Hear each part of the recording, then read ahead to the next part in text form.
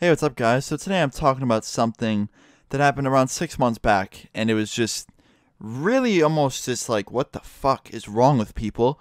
So, six months ago, I was hanging out with a buddy of mine at his house, and my friend got invited to go to, I guess, a party. I don't know. It started off as not a party, and then it went into a party.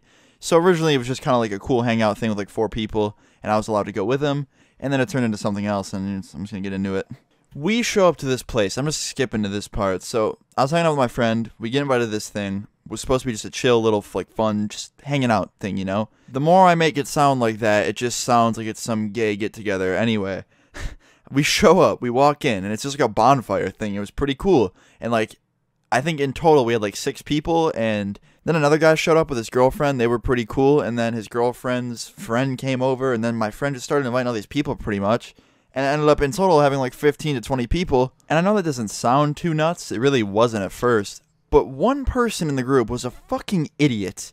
Like, I think this guy went to bed every night watching Alvin and the Chipmunks, drinking like six monsters at a time, and just like tweaking out to the three fucking chipmunks. I think that's what this dude did. That's how crazy he was. He kept doing this thing where he'd drink a whole beer, like chug it down, and then just run and jump over the fire. Like it was a big bonfire. He would jump over the pit and then dunk the can in like the recycling bin thing because that's where it was on the other side. And he kept doing it, right? And finally, the unlucky time came. Every hero has their falling point, right? This dude shotguns an entire beer with my friend, and he finishes it, and I just see him take the first step into running. He just starts running towards the fire pit, right? And I was like, oh no, this motherfucker's going for it again, right? And he goes to jump, and he hits one of the bricks on the fire pit, and just straight like pretty much dives over the fire. Like he made it over the fire without burning his face off, but it wasn't supposed to be like that. He wasn't supposed to be diving over it. See, he tripped himself and it made him go into like a, a diving position kind of thing. But when he landed, his feet were still in the fucking fire. He burned himself. Now, luckily, he was wearing boots. He had jeans on, so he didn't really seriously like light his fucking legs on fire while wearing shorts or something, and like literally just blackened his legs. But he freaked out. He got back up and he was like checking his legs and just like he felt weird. He was drunk and he just he was not doing well, right? He was bugging out. So my friend's like, all right, look, I'm gonna take you home. And the guy's like, nah, fuck you guys. I'm getting my girlfriend to take me. And we were like, all right, fine. Like we were just trying to help. And he runs in the house, gets his girlfriend, and leaves. Okay. this motherfucker shows up an hour later with his mom. He got his mom to come to my friend's friend's house and it wasn't just it wasn't just this motherfucker's mom to come and yell at us. This fucker shows up with pepper spray. She's got a bottle of mace and she starts trying to pepper spray people. I'm pretty sure she did pepper spray people. She came at me with it and I was like, "What the fuck?" I actually want to try and like get her out of there, like try and like, you know, stop her from doing it, but it's like, what am I about to do? Like deck someone's mom down? Like I'm not going to tackle some dude's mother. Like it's just fucking wrong. You don't do that.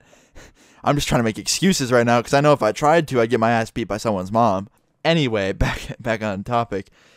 This fucking lady is running around the backyard with pepper spray, just spraying that shit like it's Febreze.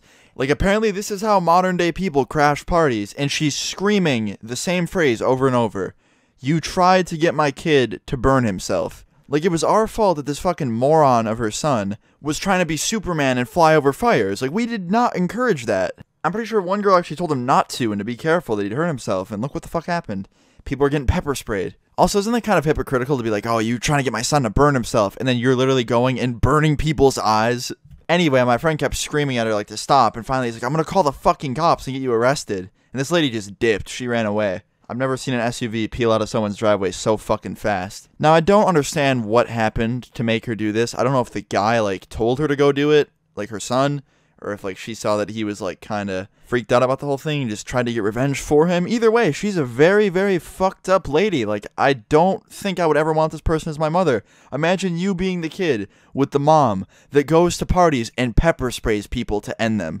Anyway, after she left, we checked back up with everyone. We all like met up in the front yard and talked. And pretty much like most of us were fine. I was kind of bugging out because I thought like the fumes were gonna get to me and like fuck me up because that shit's not fun. Don't ever get pepper sprayed.